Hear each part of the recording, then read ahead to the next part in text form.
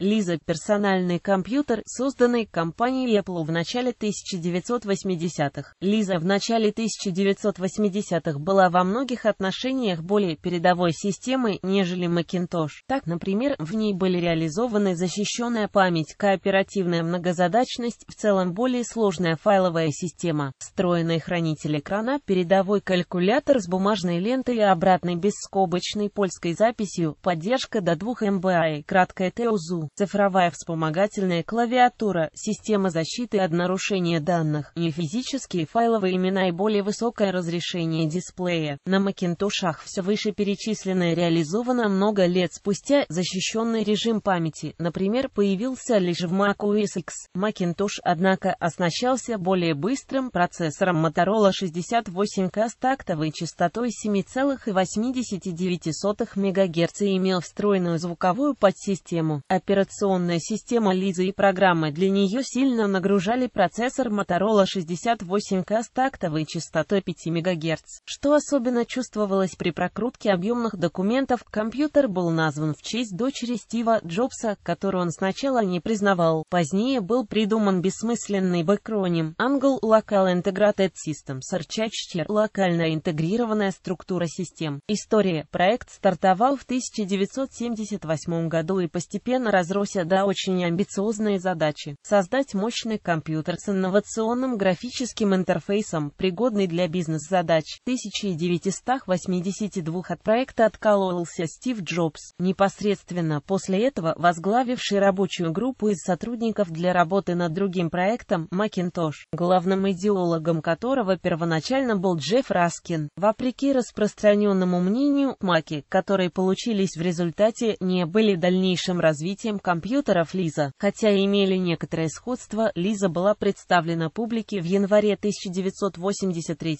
года. Лиза 1. Первая модель стоила 9995 долларов США и имела следующую комплектацию. Процессор Motorola 68000 без FPU, 16-битная шина адреса, 16-битная шина данных с тремя проприетарными слотами расширения УЗУ 512 или 1024 КБА и краткая Т, ПЗУ 16 КБА и краткая Т тестового и стартового кода ЧБ встроенный монитор 12 720 на 364 прямоугольных пикселей 2 RS-232 порта и CVSD аудиовыход 2 флоппи дисковода по 5,25 внешний HDD на 5 мегабайтах мышь и клавиатура графический интерфейс пользователя потребляемая мощность 150 Вт габариты системного блока 15 2 высота x18 7 ширина x13 8 глубина вес 48 фунтов операционная система LisaOS MacORX Lisa 2 компьютер Lisa 2 появившийся в январе 1984 года стоили от 3495 до 5495 долларов, что значительно дешевле оригинальной модели. Накопители на гибких дисках Tuigo были заменены на один 3,5 дисковод Sony Microflopy объемом в 400 КБА и краткое Т. Было возможно приобрести компьютер с АЗУ 512 КБА и краткое Т или 2 МБА и краткое Т. Внешний и встроенный накопитель уиджет были доступны как стандартные решения в других конфигурациях. В 1984 году, в то же самое время, был официально представлен Macintosh, Apple предложила свободный апгрейд до уровня Lisa 2 для всех владельцев Lisa 1 путем замены двух дисководов Twig на один 3,5 дисковод, установки винчестера объемом 10 МБА и краткое Т обновление ПЗУ. Кроме того, для размещения нового дисковода устанавливалась лицевая панель от Lisa 2 взамен штатной. Сторонними фирмами были выпущены платы расширения, но их число было очень мало. Особенности операционная система поддерживала многозадачность и файл подкачки, по тем временам значительное достижение для microIVM. При этом использование файла подкачки приводило к сильному замедлению работы, с компьютером поставлялось 7 программ LisaWrite, LisaCalc, LisaHydra, LisaGraph, LisaProject, LisaList и LisaTerminal. Считалось, что они способны выполнить любую задачу, которая может понадобиться рядовому пользователю. Программирование для Лиза было крайне затруднено, требовался второй такой же компьютер и дорогая среда разработки. Такой подход подорвал доверие сторонних разработчиков по. В большинстве случаев программы, кроме тех, которые Apple посчитала достаточными, так и не были реализованы для этого нового компьютера. Компьютер плохо продавался, бизнес-пользователям не нравилась высокая цена и вместо него чаще всего закупали компьютеры IBM PC XT, уже достаточно популярные в то время. Самым крупным заказчиком на поставку Лиза стало американское космическое агентство NASA. В свою очередь, когда выпуск Лиза прекратился, агентству пришлось заменить весь парк персональных компьютеров. При своей передовой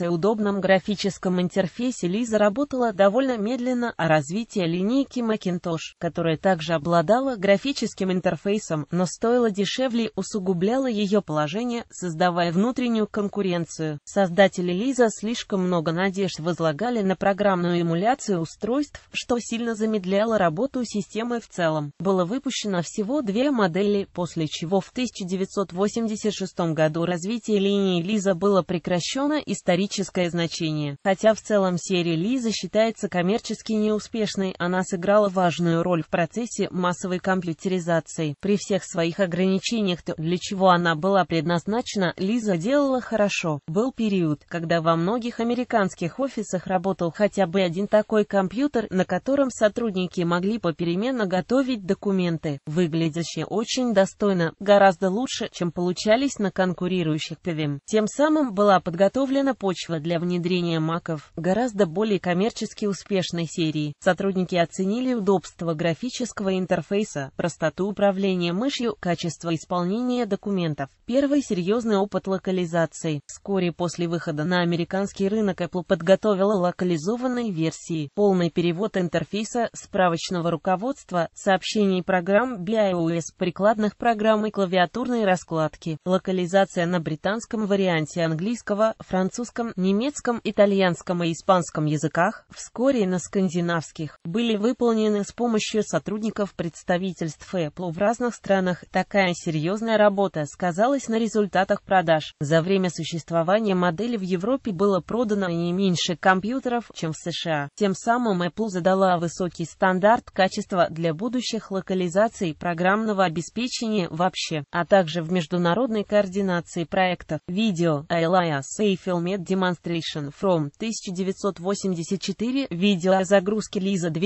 и работе с документами. Видео демонстрация работы с Лисейдра.